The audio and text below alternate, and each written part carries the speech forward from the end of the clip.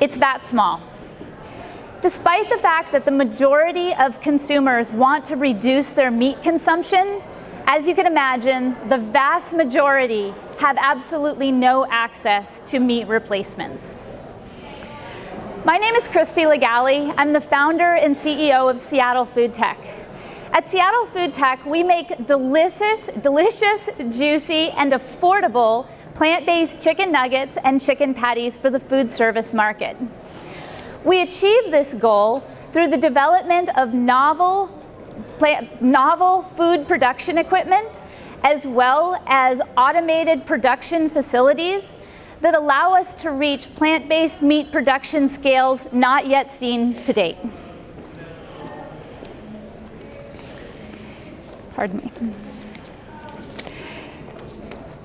Today you're going to learn about our work to address cost and scale of plant-based meat as well as our work to address the infrastructure needed to truly grow the plant-based meat industry and provide high quality plant-based meat at high capacity.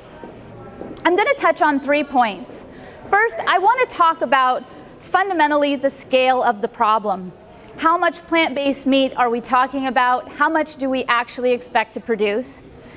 And talk about Second, I want to talk about manufacturing technology and how it has made the meat industry so successful and as big as it is today. Finally, I want to share our strategy at Seattle Food Tech to produce plant-based meat at high volume and to compete not just on a product, product that we provide to the market, but also our capacity to produce it. So let's start with the scale of the problem. How many of you have tried to help a friend or help a neighbor reduce their meat consumption? Most of you. That's great. That's wonderful.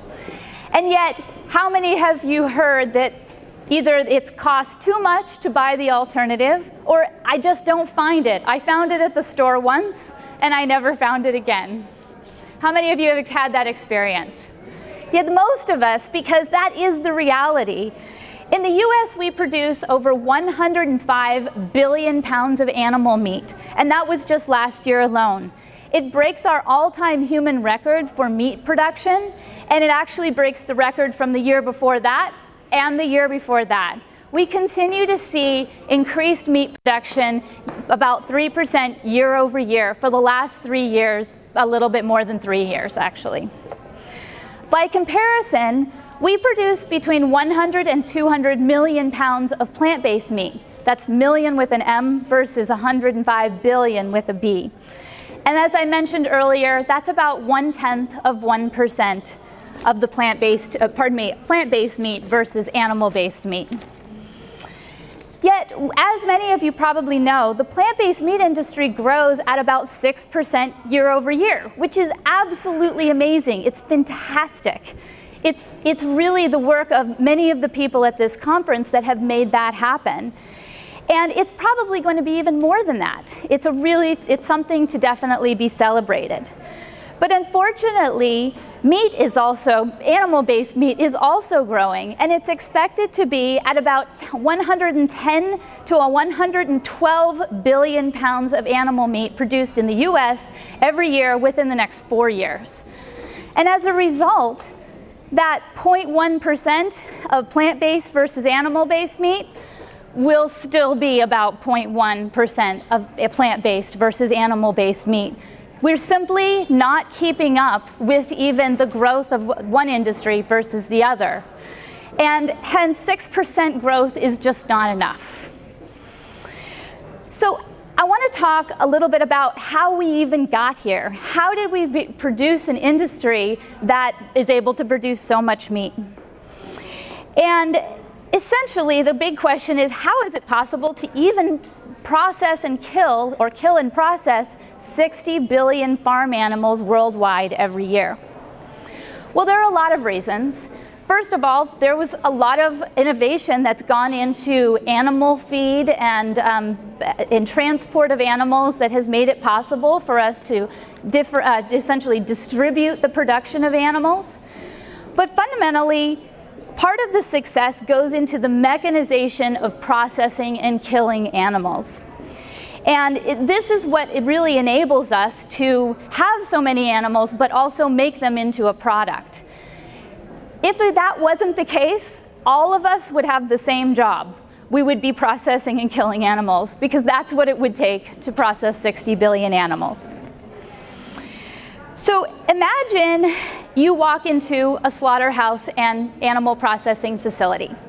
What you're going to see are large KUKA, they're called KUKA robots. They're large industrial robots that can essentially hold up, uh, hold and lift and move and position the carcasses of animals for processing.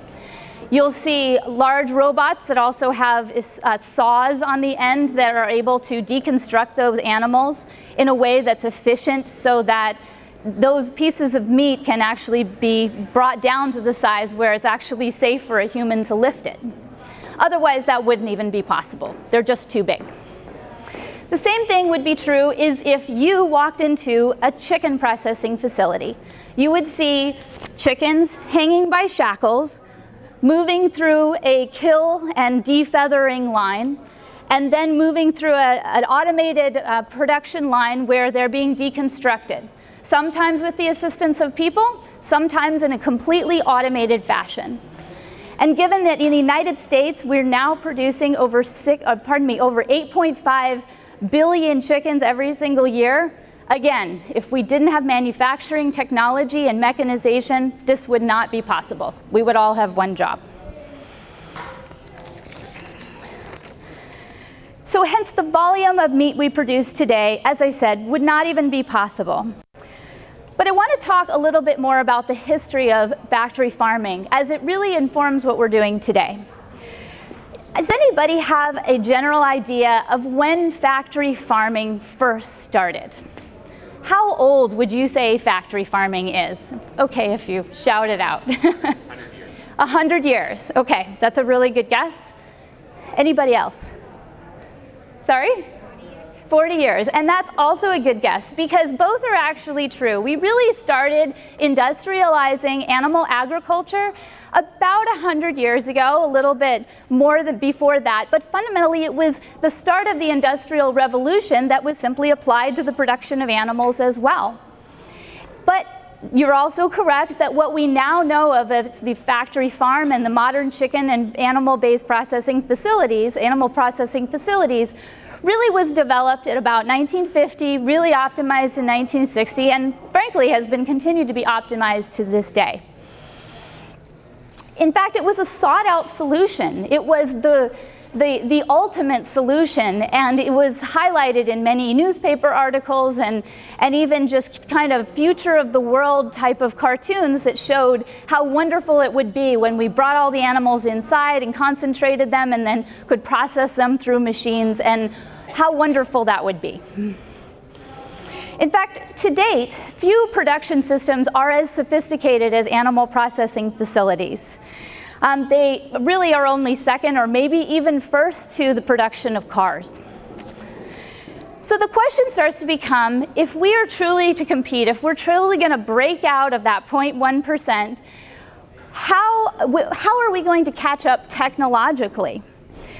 Well, the answer is somewhat simple. We need to make a lot more plant-based meat. And I wouldn't even say it's, it, that's too simplified way to say it. Um, it's really true. This isn't that hard of a problem. It was exactly what they did in the meat industry is we needed to make a lot more meat after World War II. Now we really need to make a lot more plant-based meat. And that's what we do at Seattle Food Tech. We design, build, operate smart production facilities for the production of plant-based meat. Essentially, we're working to make it faster, better, and cheaper to make plant-based chicken nuggets and chicken patties, and we serve them to the food service market. So what this means is that we're actually designing novel pieces of equipment, novel ways of handling protein, novel ways of putting them together, novel ways of even texturizing where necessary so that we can actually bring down the cost. Just like it was different to just kill a chicken out in the field or, or kill a cow out in the field to bring them into a slaughter facility and handle the animals in that way. We need to find all, we need to find many new ways in order to or make plant-based meat. And that's exactly what we're doing. But we're also designing those pieces of equipment into automated production facilities that have a lower capital cost for the building itself, because that also goes into the price of plant-based chicken products.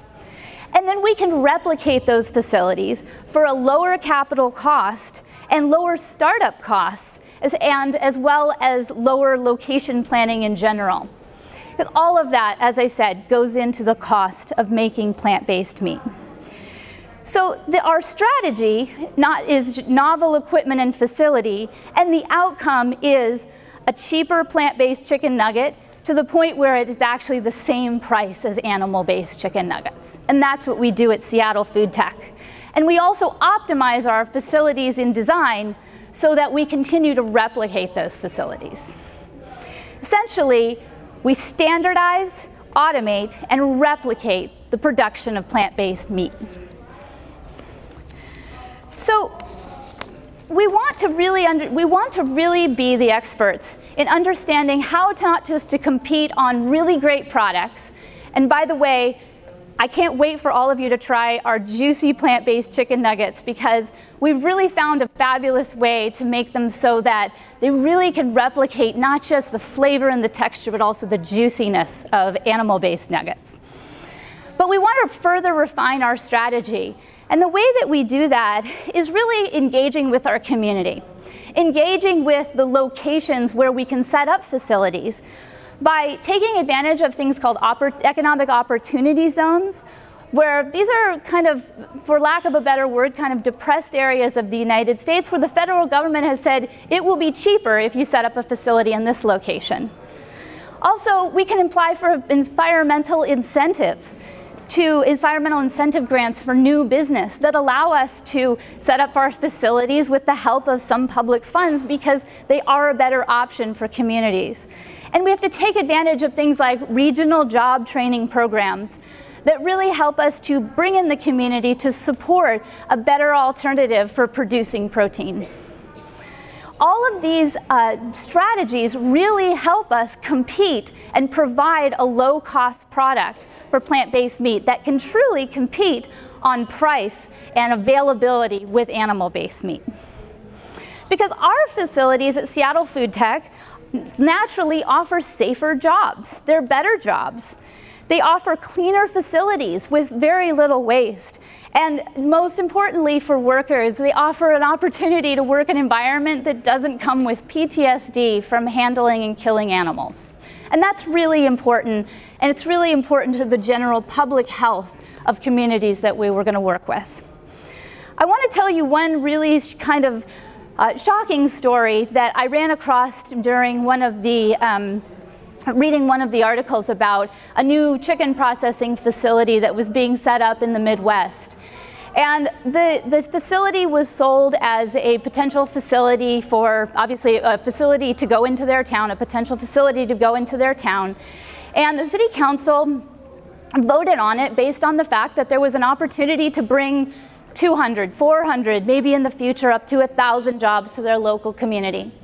But because it was a chicken processing facility that would genuinely provide food for the community and an op economic opportunity, they also had to raise taxes on the entire town by 5% in order to pay for a new, uh, uh, pardon me, a new wastewater processing facility to handle all the blood and feathers.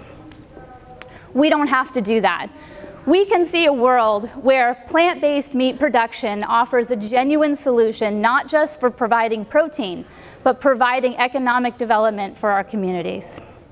Hence, shifting from plant-based meat to, pardon me, shifting from animal-based meat to plant-based meat facilities is better for the environment, it's better for the community, and it's better for the workers. So, pardon me stage issue there. Let that one go. So we are really a community of innovators in the plant-based and cell-based world. We're really trying to solve a lot of issues, some very big issues. But we, can have, we have so much to learn from the meat industry. First, we obviously need to learn from scale. We learn, need to understand the strategies that made it possible to essential, to produce and kill 60 billion farm animals worldwide.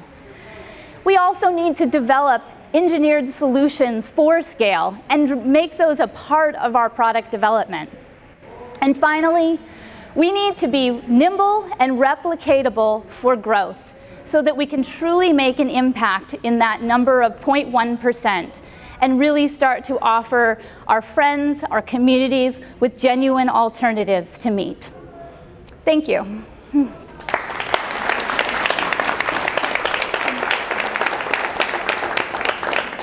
I would be more than happy to take your questions. I think I left plenty of time, maybe a little extra time.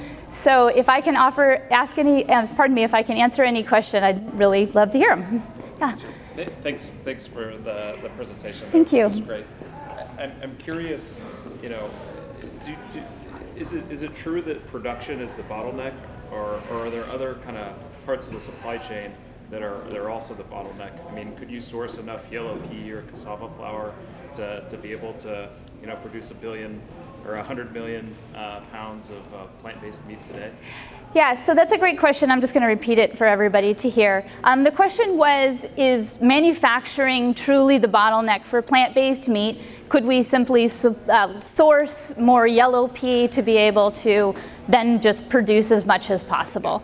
Um, the answer is none of these things are, are, are in and of themselves the only bottleneck. Um, I, naturally, we work on manufacturing technology because we know we can make plant-based meat out of wheat and soy and those don't have a bottleneck. But if we are trying for a different kind of product, maybe a, a wheat-free product or a soy-free product, then naturally something like developing new proteins in the way of like increasing how much pea, yellow pea is available does become the bottleneck. Now, you know, there are also other bottlenecks. This is the one that we're working the hardest on. It's, you know, in so many ways, you have to focus to really make change in this industry. And I think most of you probably already know that. What we're focusing on is, is price and scale of one or two um, most consumed products. But it's a really great question because these are very complex systems, so it's not the only bottleneck. Yeah, great question. Yeah. Talked about your focus being price and scale. How do you um, sort of pair that against the need for good taste and texture, which people want in their food? Yeah, so um, when I promised to come speak today, I told them that I would share our strategy on one side of the one side of the aisle, I should say, um, about our manufacturing technology. But um, the truth is that when, so just to just to use our us for an example, the development of new technologies for making plant-based meat or better technologies for making plant-based meat is driven by better products. So in our particular case, one of the things that we felt wasn't really, you know, kind of there there for plant-based chicken products was dryness. A lot of chicken products can be a little bit dry, especially when they're made essentially at scale. And so we really felt like not only did we have to change the manufacturing to allow us to do it differently so that we can scale the product much more um, reasonably, but also we wanted to make it so it improved the product itself. And so at Seattle Food Tech, we, we offer a plant-based chicken nugget that we believe is the best on the market. and it actually is um, probably the only plant-based chicken nugget I've ever tried that is actually juicy and releases juice just like an animal-based nugget is. So, um, so I realize I'm biased, but it's a really good question because it's always driven by a really good product, but developing the capacity for that product has to be a part of the design of that product. And it doesn't mean we have to give up anything. Oftentimes we can improve the product by thinking outside the box and making it in a different way. Yeah, yes? Hi, how you doing? Uh, Good. So my question, I, am interested in this focus on economic development as Great. part of your pitch here. And I'm curious sort of what, that, that's not something you necessarily hear a lot about at conferences like this. So yes. I'm curious, sort of, could you take us through the genesis of thinking about that as a major part of what you're doing? Yeah, sure. Um, so the genesis. So this actually came at us at a number of different directions. First of all, it came at me particularly just because I was investigating what is it that made the meat industry so incredibly successful. But it also came as a genesis for the, the, fact that we started in Seattle, Washington, which is obviously in Washington State, well, I just said that, sorry, obviously in Washington State. And in Washington State, they have a um, particularly active program around manufacturing support for small companies and large companies in order to utilize the, um, utilize the protein that is grown there. So first of all, you know, in seeing what the chicken industry has done, they go into places where there's a huge benefit to the community to add a chicken processing facility. There's a huge benefit to the surrounding communities to have a chicken growing facilities so that people can have jobs where they didn't have jobs or convert from their the farming that wasn't working for them to chicken farming, which you know may or may not work for them. So that was the genesis of thinking about that and realizing that that that benefit was one of the reasons that chicken nuggets were $3.15 a pound and plant-based were much, much higher than that. So that's one of them. And then also, Washington State has really, really good programs around teaching companies to, to um, support the community as well as through jobs development, as well as um, you know, becoming a good company within the state. Did I answer your question? Okay, great. Yeah. Sorry. of like pasture raising the animals before they go to the farm, I feel like that's kind of left out of this picture. Pasteurizing the. Raising like like grazing cattle or raising the chickens. Like a lot of times they're small farm owned before they send them off to the so you're saying, what about that solution as kind of a halfway point? Like, as animal farming decreases, like what incentivizes like the economic development of those uh, other people that are basically raising the animals before they go to the factory. Oh, I see. So I think what you're asking is what jobs can we offer to people who were raising animals on farms? Is, is that what you're asking? Yeah, like before the animal goes to the factory farm, usually they're raised yeah, so um, I think there's a, a, couple of answers to that, and you know, I think that that's a question that's almost so personal to the individual farmer that it's it's almost different for everyone because farmers get into you know chicken raising for a variety of reasons. Either maybe they have done it for a long time, um, but also maybe they have. Um, maybe they have converted to other types of um, farming from and turned into chicken farming. There are a variety of options for that, you know, going back, looking at what opportunities they kind of didn't go after, like for example, if wheat wasn't growing on their land, maybe we go to peas or, you know, that's probably not a good example, but, you know, returning some of these farmers to maybe some of their previous crops might be an option. However, I think probably the best person to ask that is a group called Farm Transformers, and they're working on a really interesting and innovative project, project for helping farmers who were doing chicken, uh, chicken raising to find other sources of income to get out of that particular industry should they desire to do so. It's a good question, but I don't think I have a really good answer. yeah. There, in the plant-based meat world, is there any single piece of equipment that you think is critical need of innovation and change? Um, well, there are pieces of equipment that are, are critical to really high quality plant-based chicken products and other types of products. It, obviously, the extruder is one of them, um, but it's not the only one. There's a lot of processing equipment that's required to make plant-based meat of any kind. Um, the extruders are really sophisticated machines and they're very valuable to the plant-based meat industry, but it's just not the only one. We currently have prototypes, pardon me, we have early prototypes for actually three new pieces of equipment that we, we're working on, and we feel like those are our next critical step. So I was told to wrap up, so I'll take maybe one more question if that's okay, and then. quick question. You said you are optimizing your process, but for soy and gluten, basically. Yes. Do you think your process optimized for these two proteins will limit you to switch to a different Nope. in the future? Nope, it doesn't. In fact, it frees us from it. And that's one of the really be- big benefits of what we're trying to do is that there are a lot of uh, equipment that are optimized for just those two. We really felt like we needed more um, flexibility to avoid that particular problem so that we could be flexible and go to other proteins pretty easily. Great question. Thank you, everyone. Really appreciate it. Oh, that's